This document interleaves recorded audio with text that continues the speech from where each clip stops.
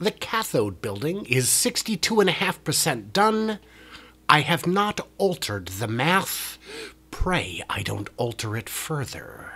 I'm Brian. Welcome to my Tesla weekend. Well, a lot has happened over the past two weeks, but none of it changed the math as we track it, and I'm sure you'll agree that even though stuff is getting done, it doesn't appear meaningfully more complete than it did two weeks ago. Quick thank you to new patrons Jim, Jordan, and Robert, with a few more to come after that. Thank you guys for your decision to support the channel. So let's take a look at what has gotten done over the last two weeks. Well, the roof has gotten a bit cementitious. Yeah, they put down a thin layer of concrete over the corrugated steel, a thick layer of foam, and then another layer of concrete.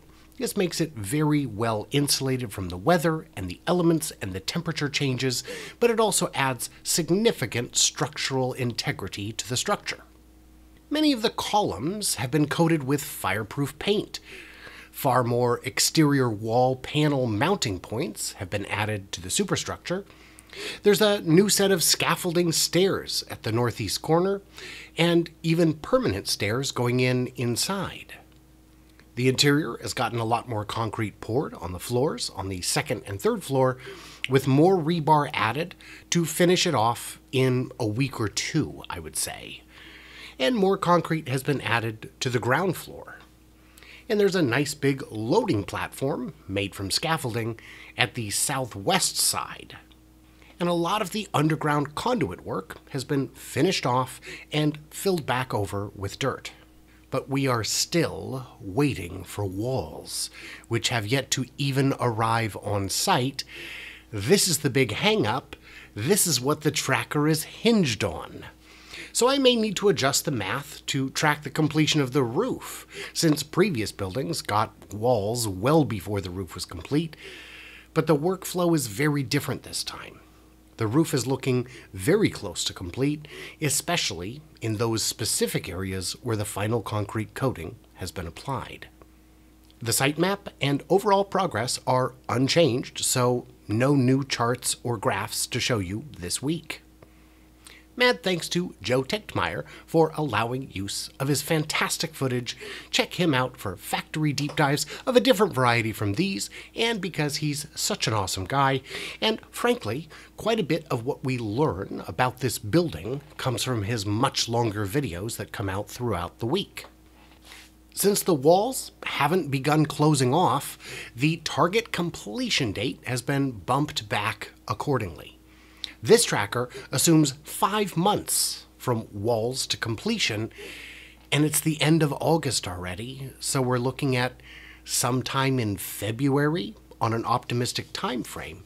The count starts as each square gets closed off, but none of them are closed off. Videos like this take a lot of time to produce, so if you find value in what you see, considering offer your support on Patreon, where you get early access, exclusive content, and a whole lot more. And at the $10 level and above, you get access to my 11 year production prediction tracker. Or you can subscribe, like the video if you did, leave a comment, follow me on Twitter at 4K Podcast. I appreciate you all either way because you are, without exaggeration, the reason I'm able to keep going, and I thank you guys for that. So, what did I miss or misunderstand? Leave me all your thoughts, your wisdom, your blinding brilliance into them comments below, and stay tuned, stay juicy, and I will see you, clever robots, when the tracker gets something to show. And here is your time and a half overtime bonus for hanging out. In case you missed it, these are the three upcoming t shirt designs for the channel. I have to rebuild my merch store because some joker in the compliance department at the old one decided that the word Tesla itself, used in my logo, is intellectual property infringement, and they are not interested in permitting my listings to post. Dumb. Genuinely dumb. But let's move on.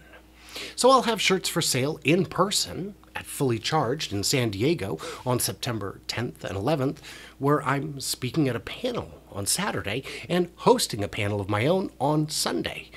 And I'll also have 8x10 prints available for purchase, and smaller versions you can just pick up for free at my booth in the exhibition hall.